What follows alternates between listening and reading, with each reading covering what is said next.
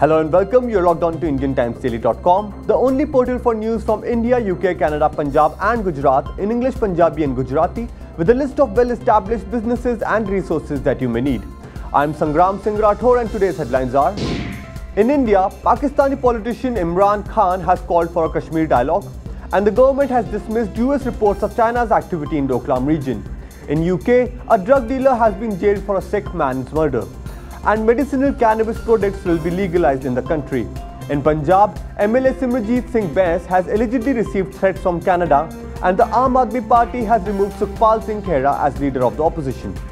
Stay tuned to IndianTimesDaily.com and I'll be back with all the news that's important for you from India, UK and Punjab.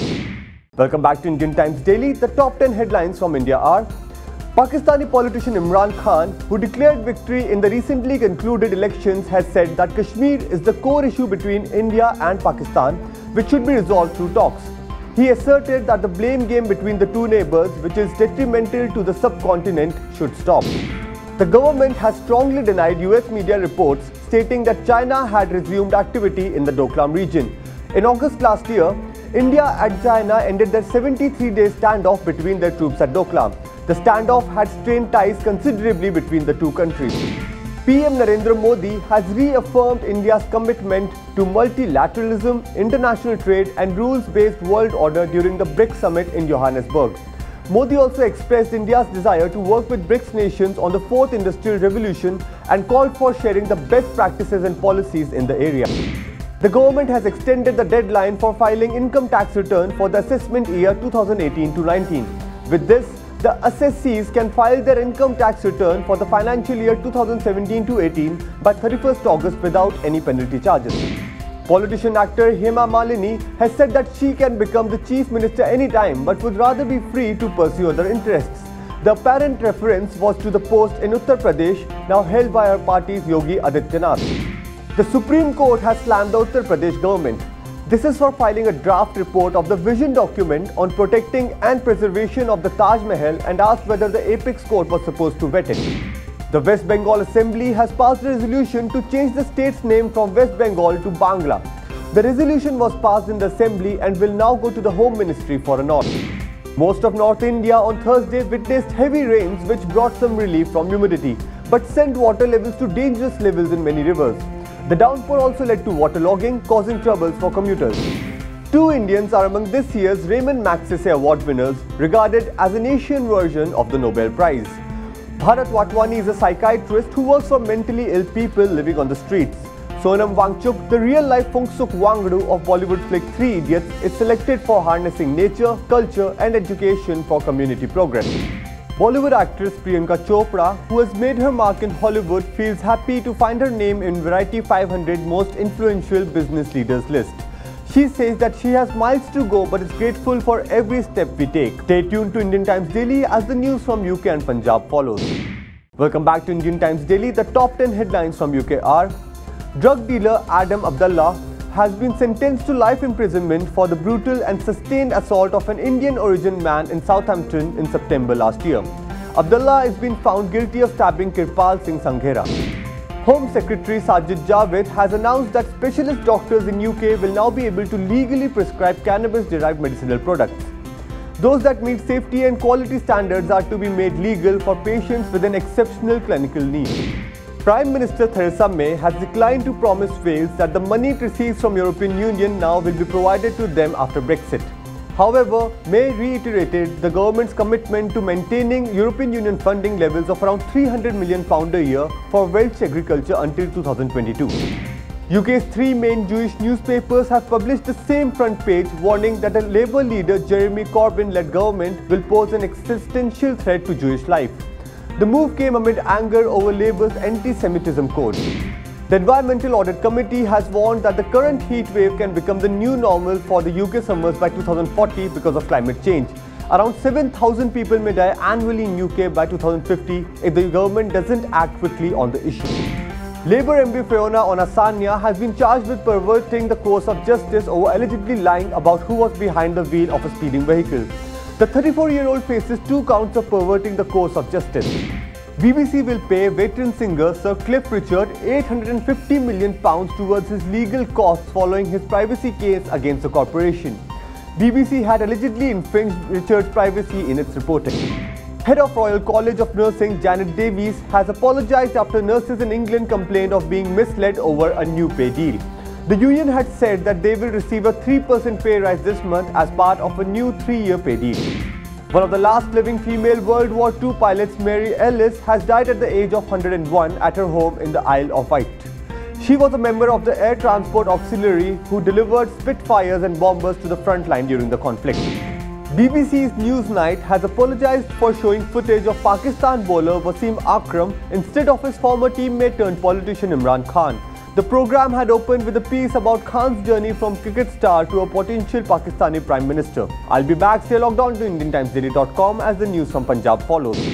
Welcome back to Indian Times Daily. The top 10 headlines from Punjab are Lok Insaf Party MLA Simarjeet Singh Bains has claimed to have received a letter from Canada threatening him to stop the campaign against illegal drugs or face consequences. Bains has written to the Punjab Home Secretary seeking a probe. Aam Aadmi Party has removed Sukhpal Singh Khera as the leader of opposition in Punjab Assembly and appointed Dirba MLA Harpal Singh Chima in his place. No specific reason for replacing Khera has been given by the party. Women activists have requested the Vatican to advise Pope Francis to remove Jalandhar Bishop Franco Mulakkal. This is following a rape case lodged against him by a nun in Kerala last month. Chief Minister Amrinder Singh has said that the report on sacrilege cases will be tabled in next session of Vidhan Sabha. Singh also claimed that legal action will be taken against all those found guilty. SCD leader Sukhdev Singh Dhindsa has urged the government to pass a law to grant citizenship to Sikh and Hindu communities living in neighbouring countries. Dhindsa wants the centre to pass the citizenship bill which allows Hindu and Sikhs from neighbouring countries to settle in India. The SGPC has decided to help 325 Sikhs who were arrested by the army and police during Operation Blue Star. Earlier, only 40 Jodhpur detainees got compensation through a local court. The number of people suffering from cholera and diarrhea has crossed the 600 mark in Hoshiarpur district. 20 water samples taken from Kamalpur, Labnagar and Subhash Nagar areas which were examined at a laboratory have failed. The Punjab and Haryana High Court has issued notice to the state and three private medical colleges after allowing a PIL on the issue of high fees being charged for MBBS course. It was filed on the basis of several reports featured in newspapers. Mercury levels have plummeted after rain lashed several parts of Punjab and Haryana. Chandigarh, the common capital of both states, also received showers. The Punjab Police has taken a digital leap in its initiatives to provide better and efficient services to citizens. They have launched a crime and criminal tracking network and systems based on SMS service for complainants to bring transparency and efficiency in its services. This is the end of the news bulletin, but stay tuned to IndianTimesDaily.com as news from Bollywood is coming up next. And do visit the resources section on this portal to find the best Indo-UK businesses and resources from accounting firms to wedding planners in your city. All of us at Indian Times Daily wish that you have a great day.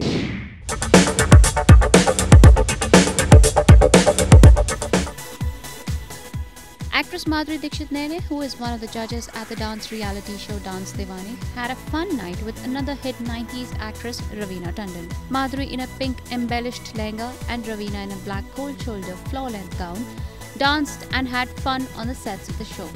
Raveena made an entry on a cycle rickshaw that was decorated with flowers. Tandon even shared a photograph post the shoot on Instagram. She wrote, Must fun time on Dance Deewane Dhamaka with Madhuri Dixit Nene. Was so good to catch up after a long time. Work seemed like a picnic that day. While Madhuri shared the same picture on her social media too. The other judges on the show are filmmaker Shashank Khaitan and Indian choreographer Tushar Kalia. Dance Deewane airs on Colors channel. Saheb Biwi Aur Gangster 3 has been making headlines since its trailer has released and created curiosity among the audiences. The fresh pairing Chitrangada Singh and Sanjay Dutt and their on-screen chemistry will be the highlights of the film. During the promotional event in Delhi, when Sanju Baba was asked about romancing with Chitrangada in the film, then the actress interrupted Sanjay Dutt and said, पहले तो अगर इन्होंने ऐसा बोला तो मैं बहुत शर्मा जाऊंगा यू हैव नो आइडिया जो एक्चुअली पहले मे- मेरे को थोड़ी सी अ, मैं हेजिटेट कर रही थी या मैं थोड़ी सी नर्वस हो रही थी जो हमको थोड़ा रोमांस किया हमने फ़िल्म के अंदर two romance the original rock star लेकिन जब हम सेट पे पहुँचे और हमने शुरू किया and then we had to like look into each other's eyes and do the whole. So I think ये इधर उधर कहीं देखते he would never look at me. So हाँ he used to get very shy. ये बिल्कुल uh, सही बोला आपने. But why were you so shy of me? I don't understand.